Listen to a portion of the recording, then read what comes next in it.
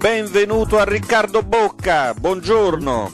Grazie del benvenuto e un saluto a tutti gli ascoltatori. Buona All- giornata. Buona giornata anche a te. Allora, eh, vorrei intrattenermi con te, gli ascoltatori, per affrontare un po' questo problema che ha mosso eh, Enrico Mentana, il direttore del TG della 7 che ha eh, abbandonato Twitter, nel senso sono stanco e non condivido questa, eh, questo modo di relazionarsi con insulti, con eh, frasi spregiative che istigano spesso alla violenza, insomma, come eh, mettendo un po' un freno e, e mettendo una luce su questo aspetto che comunque esiste ed è evidente nei social network. Tu che ne pensi Riccardo? Ma io ho reagito eh, con un tweet immediato quando ho saputo che Enrico Mentana aveva dire, scelto questa strada. Ho scritto la notizia tra virgolette su Twitter, ho scritto Mentana abbandona Twitter, eh, tipico dell'età problemi con l'uccellino. Questa è stata la mia reazione. Per drammatizzare completamente la situazione. Io credo che, e anzi se mi capiterà ne parlerò con Mentana anche dovessimo incontrarci, eh, credo che eh, ci sia un grosso errore di fondo ed è eh, non soltanto nella violenza di cui parleremo poi da parte di una parte dei frequentatori eh, di, della rete in generale, di Twitter pure, ma eh, di chi eh, si affaccia su Twitter. Ora ci sono due modi eh, specifici per affrontare Twitter. Il primo è strettamente professionale, ovvero utilizzare Twitter eh, per eh, diffondere dei eh, materiali che si producono. Uh-huh. Nel caso per esempio del mio blog eh, inserisco su Twitter ehm, gli articoli che scrivo, le recensioni degli antennati e dell'Espresso. Invece per una gran parte di professionisti, anche molto conosciuti come Mentana e come tanti altri, Twitter è diventato un oggetto di curiosità eh, mista tra il professionale e il personale, anche un divertissement per certi versi sì. e un, un, angolo di confronto che agli over 50 piace tantissimo perché li fa sentire molto moderni. In realtà, in realtà non lo sono affatto moderni perché confondono quello che è il normale rapporto che si instaura al di fuori eh, nel, di, di Twitter, cioè nella vita reale, dove è naturale il rispetto verso un'altra persona e ancor più verso una persona che ha una visibilità pubblica, con ciò che succede nella rete e in particolare su Twitter, dove invece le distanze non esistono.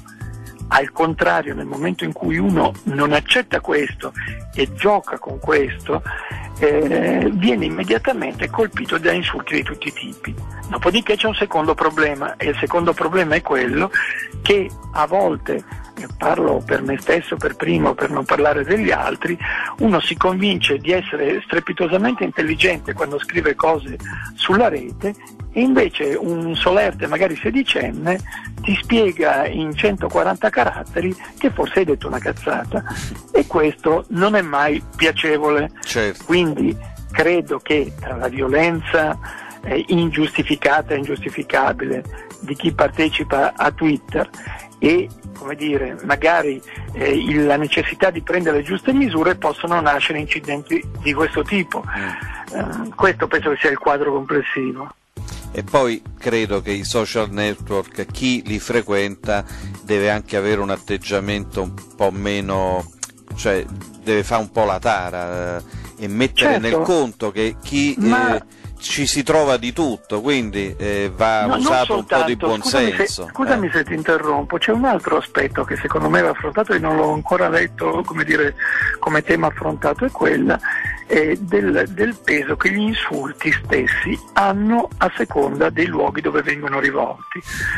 Esattamente come il bar una volta era il posto dove cadevano certe barriere sì. e dove dare del eh, coglione a qualcuno non era un'offesa per cui ci si sfidava a duello, ma magari avveniva durante una partita a biliardo per un tiro sbagliato, parliamo di 30 anni fa, di 40 anni fa, di mondi ormai quasi completamente scomparsi, tanto la rete propone un, un finto concetto di confidenza che però invece nella realtà si eh, riverbera in un linguaggio e eh, in una serie di insulti che mai avverrebbero eh, personalmente, che non hanno la stessa violenza effettiva certo. del confronto. Mm. E questo va interpretato, se poi a una persona dà fastidio essere ehm, attaccata in questo modo, allora se ne deve andare. Io que- ieri sera, ahimè, ho trascorso la mia serata e poi la mia notte a scrivere del programma eh, di Berlusconi che c'è stato ieri sera, questa ah, mattina... ecco, io non l'ho visto e non ho letto il tuo pezzo. Eh beh, che impressione, io me lo sono registrato, quindi me lo vedo. Ma eh. che impressione ti, ti ha fatto questo speciale?